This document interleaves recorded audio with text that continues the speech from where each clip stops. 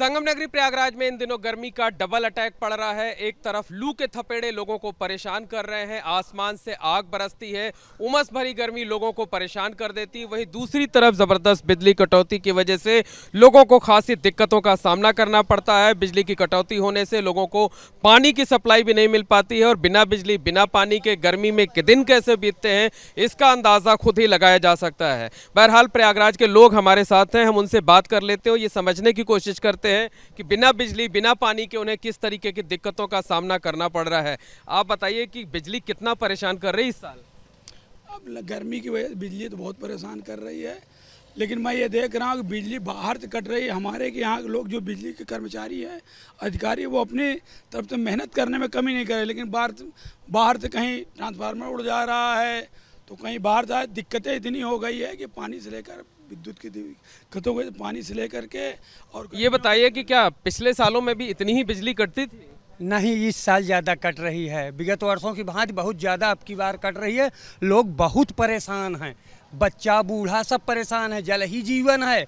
इसलिए लोग ज़्यादा परेशान हैं। क्या पानी भी नहीं मिल पा रहा? हाँ नहीं मिल पा रहा है। पानी हवा दवा कुछ भी नहीं मिल पा रहा है। विद्युत कारपोरेशन के कारण लोग बहुत ज़्यादा परेशान हैं। बताइए कितनी परेशानी हो रही है?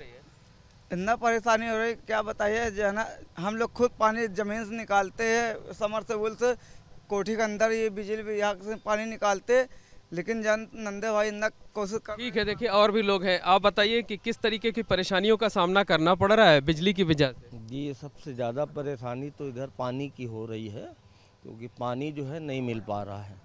दूसरी चीज़ जो है बिजली की परेशानी ये है कि जो तार गई हुई हैं ये वही पुरानी वाली हैं। और पॉपुलेशन बढ़ती जा रही है। तो इसको भी बढ़ाना चाहिए ना जिससे लोगों को लाइन बिल्कुल बिल्कुल। देखिए इस बार तो रात में भी बिजली कट रही है। बहुत ज़्यादा समस्या बन गई है इस साल।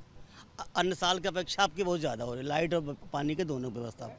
बिल्कुल साफ़ तौर पर कहा जा सकता है कि संगम नगरी प्रयागराज में पिछले कुछ सालों में इतनी बिजली कटौती कभी नहीं होती थी, लाइन की इतनी ट्रिपिंग कभी नहीं होती थी। इस साल ये समस्या कुछ ज़्यादा ही है। दिन का छोड़िए, रात के वक्त भी बिजली कटौती हो रही है। यानी ना दिन को सुकून है, ना रात को चैन है, और बिना बिजली हर कोई परेशान है। और गर्मी में लोगों ने, लोगों की दिक्कतें जो है, वो बिजली ने और बढ़ा दी हैं। कैमरामैन अनुराग द्विवेदी के साथ मोहम्मद मोइन, एबीपी गंगा, प्रयागराज।